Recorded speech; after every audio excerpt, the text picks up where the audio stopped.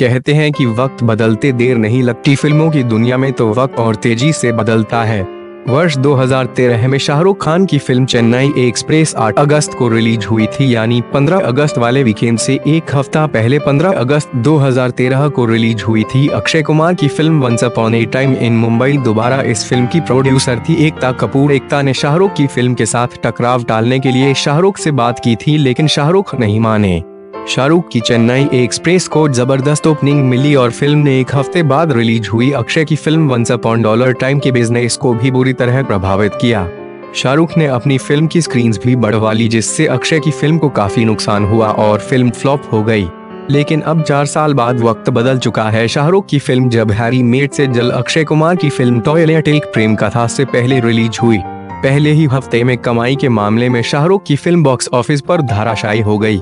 Film को 15 अगस्त वाले weekend से उम्मीद थी, लेकिन अक्षय की फ़िल्म ने शाहरुख के अरमानों पर पानी फेर दिया।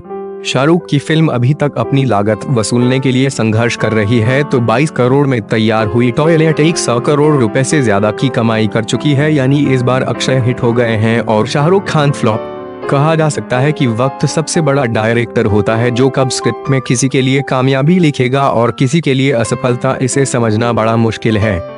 कहते हैं कि वक्त बदलते देर नहीं लगती। फ़िल्मों की दुनिया में तो वक्त और तेज़ी से बदलता है। वर्ष 2013 में शाहरुख खान की फ़िल्म चेन्नई एक्सप्रेस 8 अगस्त को रिलीज़ हुई थी, यानी 15 अगस्त वाले वीकेंड से एक हफ़्ता पहले 15 अगस्त 2013 को रिलीज़ हुई थी। अक्षय कुमार की film once upon a time in Mumbai, दोबारा इस फ़िल्म की प्रोड्यूसर थी। एकता कपूर, एकता ने शाहरुख की फ़िल्म के साथ टकराव टालने के लिए शाहरुख से बात की थी, लेकिन शाहरुख नहीं माने। शाहरुख की चेन्नई एक्सप्रेस को ज़बरदस्त ओपनिंग मिली और फ़िल्म ने एक हफ़्ते बाद रिलीज़ हुई। अक्षय की फ़िल्म वंस अपॉन डॉलर टाइम के बिज़नेस को भी बुरी तरह प्रभावित किया।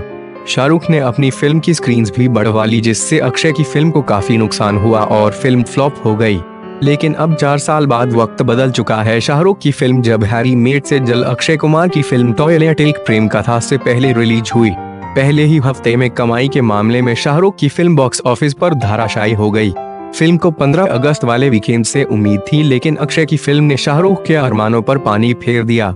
शाहरुख की फ़िल्म अभी तक अपनी लागत वसूलने के लिए संघर्ष कर रही है तो 22 करोड़ में तैयार हुई टॉयलेट एक सौ करोड़ रुपए से ज़्यादा की कमाई कर चुकी है, यानी इस बार अक्षय हिट हो गए हैं और शाहरुख खान फ्लॉप।